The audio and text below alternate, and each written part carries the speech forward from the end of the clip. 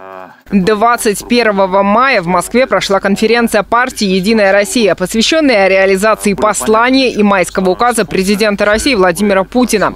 С докладом выступил член Генсовета партии, секретарь Орловского регионального отделения «Единой России» Леонид Музалевский. Он рассказал о предложениях, выработанных в ходе регионального форума. Среди инициатив усиления работы первичных организаций, повышение эффективности партийных проектов в свете реализации послания президента и нового майского указа главы государства сообщается на портале регионального отделения партии.